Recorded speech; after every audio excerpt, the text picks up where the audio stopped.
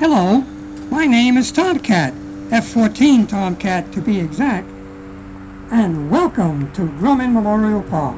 I am the 331st F-14 produced by Grumman Aerospace Corporation right here in Calverton.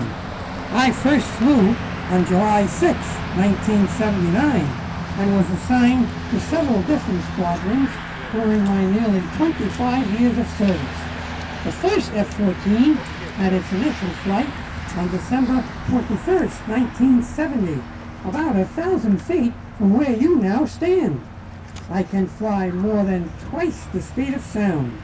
Notice my tail hook?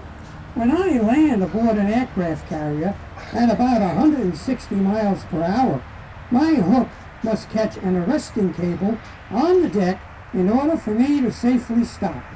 I can fly as high as 50,000 feet and travel 1,991 miles on a single tank of gas.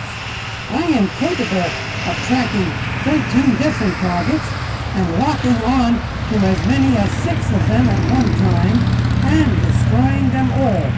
My blue Sidewinder missiles can destroy close-range targets, while my gray Sparrows can intercept targets further away. My Phoenix missiles, though not presently mounted on me, are designed to destroy long-range enemy bombers. Well, I hope you enjoy the rest of your visit to our park. Now, press the red button and hear me take off with Afterburner.